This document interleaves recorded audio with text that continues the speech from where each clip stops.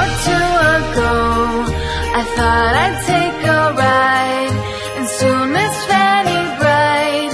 Was seated by my side. The horse was lean and lank. Misfortune seemed his lot. We ran into